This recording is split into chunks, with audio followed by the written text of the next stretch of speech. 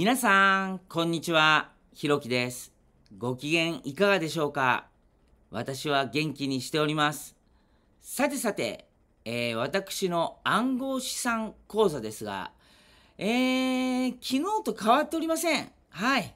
もうそろそろ1500万円っていうところなんですが、なかなかいきません。はい。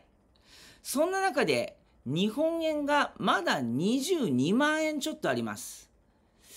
どっかに投資したいと思います。ドルコスト平均法でやってるので、ちょっとずつ、ちょっとずつ様子を見ながらです。そうですね。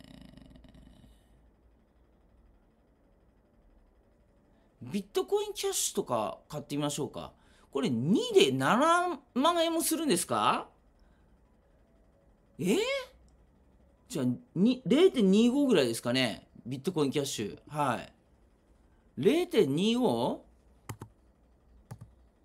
で、いくらですか?え?これで1万?はあ買っちゃいましょうか。はい。買います。すごい刻んでも1万いくんだ。はい。これで、ちょっとかっこ悪いことに、ビットコインキャッシュが2.25になりました。かっこ悪い。ほんと。はい。